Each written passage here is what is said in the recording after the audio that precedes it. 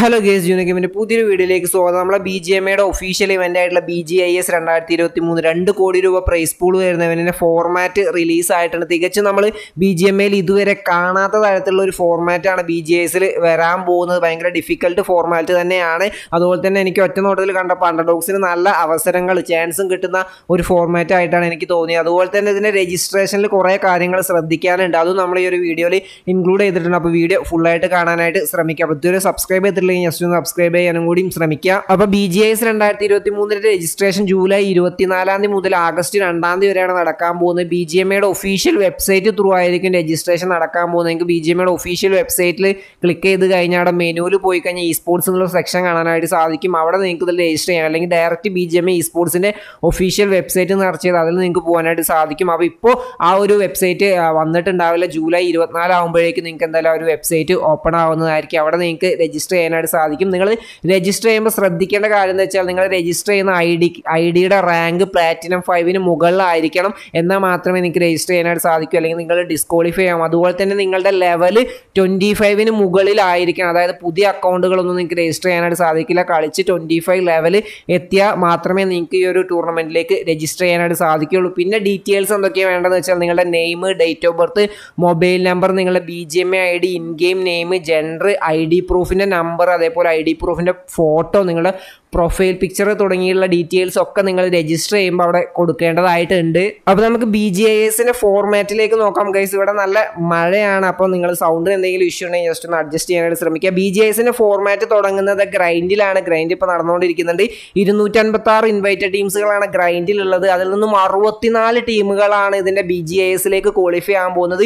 ഈ ഒരു അറുപത്തിനാല് ടീമിൽ നമ്മളെ ടി വൺ ടീംസ് പോലും എത്തിയിട്ടില്ലെങ്കിൽ അവർക്ക് ഇൻ ഗെയിം ക്വാളിഫയേഴ്സ് കളിക്കേണ്ട അവസ്ഥയായിരിക്കും. എന്തായാലും ഈ ഒരു അറുപത്തിനാല് ടീമിൽ ടോപ്പ് മുപ്പത്തിരണ്ട് ടീമുകൾ റൗണ്ട് ത്രീയിലേക്കും ബോട്ടം മുപ്പത്തിരണ്ട് ടീമുകൾ റൗണ്ട് ടൂയിലേക്കുമാണ് ക്വാളിഫൈ ആകാൻ പോകുന്നത്. അടുത്തത് വരുന്നത് നമ്മൾ ഇൻ ഗെയിം ക്വാളിഫയേഴ്സ് ആണ്. നമ്മൾ രജിസ്റ്റർ ചെയ്ത എല്ലാവരും ഇൻ ഗെയിം ക്വാളിഫയേഴ്സ് ആണ് കളിക്കേണ്ടത്. അവിടെ നിങ്ങൾക്ക് പതിനഞ്ച് മാച്ചുകളാണ് ഉണ്ടാകുക നിങ്ങൾ രജിസ്റ്റർ ചെയ്ത ടീം മെമ്പേഴ്സുമായിട്ട് ആ ഒരു പറയുന്ന പെർട്ടിക്കുലർ ഡേറ്റിൽ നിങ്ങൾ കളിക്കുന്ന മാച്ചുകളാണ് അവർ കൗണ്ട് ചെയ്യുക. അതിൽ പതിനഞ്ച് മാച്ചുകൾ നിങ്ങൾക്ക് കളിക്കാം. അതിൽ ബെസ്റ്റ് പത്ത് മാച്ചുകൾ അവരെടുക്കും നിങ്ങൾ പെർഫോമൻസ് നോക്കുകയാണെങ്കിൽ നിങ്ങൾക്ക് ആ പത്ത് മാച്ചിൽ നിങ്ങൾ പത്ത് ചിക്കൻ ഡിന്നറും ഒരു ഇരുപത്തഞ്ചിന് പ്ലസ് കിൽസ് അല്ലെങ്കിൽ ഫിനിഷസും എടുത്താൽ മാത്രമേ നിങ്ങൾക്ക് അടുത്ത റൗണ്ട് വണ്ണിലേക്ക് ക്വാളിഫൈ ആകാനായിട്ട് സാധിക്കുകയുള്ളൂ. ഞാൻ ഈ ഒരു പറയുന്നത് ഒരു സ്പെക്ടേറ്റി അല്ലെങ്കിൽ നമ്മുടെ കഴിഞ്ഞ ബി ജെ എസിന്റെ ഒരു ഇതിൽ വെച്ചിട്ടാണ് പറയുന്നത്. അങ്ങനെ രണ്ടായിരത്തി നാൽപ്പത്തി എട്ട് ടീമുകളാണ് റൗണ്ട് വണ്ണിലേക്ക് ക്വാളിഫൈ ആകാൻ പോകുന്നത്. ആ ഒരു റൗണ്ട് വണ്ണിൽ നൂറ്റി ഇരുപത്തെട്ട് ഗ്രൂപ്പുകളായിട്ട് ഈ ഒരു ടീമുകളെ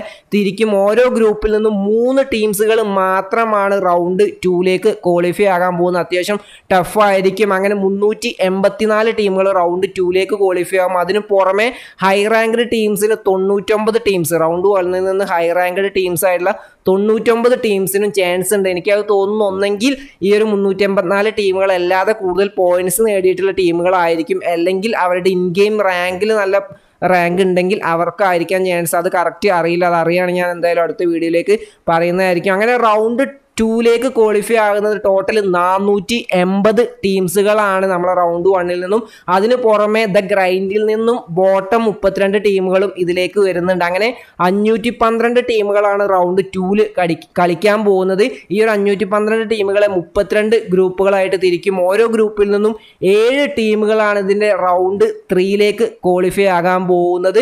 അങ്ങനെ റൗണ്ട് ത്രീയിൽ ഇരുന്നൂറ്റി ഇരുപത്തിനാല് ടീമുകൾ റൗണ്ട് ടൂവിൽ നിന്നും ക്വാളിഫൈ ആവും. അതിന് പുറമെ ദ ഗ്രൈൻഡ് ഗ്രൈൻഡിൽ നിന്നും ടോപ്പ് മുപ്പത്തിരണ്ട് എത്തിയ ടീമുകളും ഈ ഒരു റൗണ്ട് ത്രീയിലേക്ക് വരും. അങ്ങനെ ഇരുന്നൂറ്റി അൻപത്തി ആറ് ടീമുകൾ റൗണ്ട് ത്രീയിൽ ഏറ്റുമുട്ടും. ഇവരെ പതിനാറ് ഗ്രൂപ്പുകളായിട്ട് തിരിക്കും. ആ ഒരു ഒരു ഗ്രൂപ്പിൽ നിന്ന് നാല് ടീമുകൾ അടുത്ത റൗണ്ടിലേക്ക് ക്വാളിഫൈ ആകും അങ്ങനെ അറുപത്തിനാല് ടീമുകൾ റൗണ്ട് ഫോറിലേക്ക് ക്വാളിഫൈ ആകും. പക്ഷേ ഈ ഒരു അറുപത്തിനാല് ടീമുകളല്ലാതെ അറുപത്തിനാല് പ്ലസ് എൺപത് വരെ പൊസിഷനിൽ നിൽക്കുന്ന ഈ ഒരു ഇരുന്നൂറ്റി അൻപത്തി ആറ് ടീമുകൾ അറുപത്തഞ്ചിനും എൺപതിനും പൊസിഷനിൽ നിൽക്കുന്ന പതിനാറ് ടീമുകൾക്ക് ലൂസർ ബ്രാക്കറ്റിലേക്കുള്ള ഒരു അവസരം കിട്ടുന്നുണ്ട്. ഇത് ആദ്യമായിട്ടായിരിക്കും ബി ജെ എമ്മയുടെ ഒരു ഫോർമാറ്റിലേക്ക് ലൂസർ ബ്രാക്കറ്റ് വരുന്നത്. അങ്ങനെ പതിനാറ് ടീമുകൾ ലൂസർ ബ്രാക്കറ്റിലേക്കും ക്വാളിഫൈ ആവും ഇനി റൗണ്ട് ഫോർ നോക്കുകയാണെങ്കിൽ റൗണ്ട് ത്രീയിൽ നിന്നും എത്തിയിട്ടുള്ള അറുപത്തിനാല് ടീമുകളാണ് റൗണ്ട് ഫോറിൽ കളിക്കാൻ പോകുന്നത്. നാല് ഗ്രൂപ്പുകളായിട്ടാണ് ഇവരെ തിരിക്കുന്നത്. അതിൽ നിന്ന് ടോപ്പ് നാല് ടീമുകൾ ക്വാളിഫൈ ആവും സെമി ഫൈനൽസിലേക്ക് അങ്ങനെ പതി നാല് ഗ്രൂപ്പിൽ നിന്ന് നാല്